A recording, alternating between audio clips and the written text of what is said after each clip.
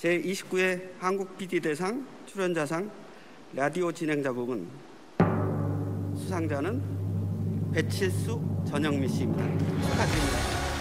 네, 축하드립니다. TBS FM 매칠수 전영미의 959쇼는 매일 낮 12시부터 2시까지 방송되는데요. 시사 문제들을 풍자와 해악으로 유쾌하게 풀어내며 청취자들에게 큰 웃음을 선사하고 있습니다. 다시 한번 축하드립니다.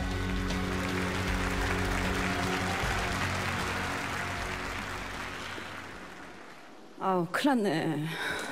너무 많이 떨리네요. 네. 아, 내가 이러려고 라디오 진행자가 됐나 하는 자부심이 들고 예, 행복하기만 합니다. 네. 지금 기대를 하셨을 것 같은데 정말 준비를 많이 못했네요. 예, 올린 머리도 좀 예쁘게 하고 싶었는데 예, 머리가 짧아가지고 이렇게 많이 헝클어지고 네 감사합니다. 예, 아, 정말 어, 저도 그 데뷔한 지가 올해로 만 20년이 됐더라고요. 20년이 넘었는데 정말 그 오빠 신동엽 씨가 말씀하신 대로 정말 같이 일하는 일하시는 어, 우리 PD 분들께 인정을 받은 듯한 그런 생각이 들어서 정말 감사드리고요. 그리고 우리 TBS의 정찬영 대표님을 비롯해서 정말 이 구호고 쇼를 지금까지 계속 아, 이끌어 가게 해주시는 우리 제작진 아, 정말 감사합니다. 아무리 맛있게 차려놔도 맛있게 드셔주시는 분이 안 계시면은 그 음식은 그냥 버리는 음식이 되는 거잖아요. 근데 항상 매일매일 낮 12시가 되면은 애청해 주시는 우리 청취자 여러분들께 진심으로 감사드리고요.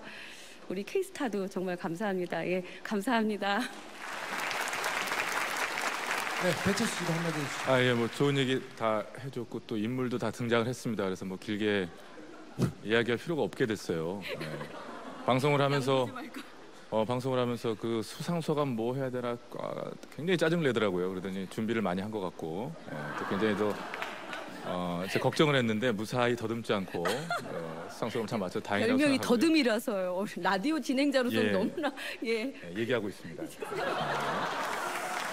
그, 어, 실은 그 그렇습니다. 저도 뭐 고민을 했죠. 어떤 상속을 말씀드려야 되나 고민했는데 어, 그것을 들으시면서 어떤 마음으로 들으시건 또 어떻게 마음에 드실 수도 있고 그렇지 않을 수도 있는데 제작진들이 그저 하루하루 때우듯이 방송하는 게 절대 아닙니다. 어, 정말 많은 고민 끝에 제작진이 내어놓은 결과물이기 때문에 어, 좀 사랑으로 봐주셨으면 더욱더 발전하지 않을까 생각이 들고요. 앞으로도 더욱 열심히 하겠습니다. 정말 감히 부러워하지도 못했던 상을 받게 됐습니다. 정말 고맙습니다. 감사합니다.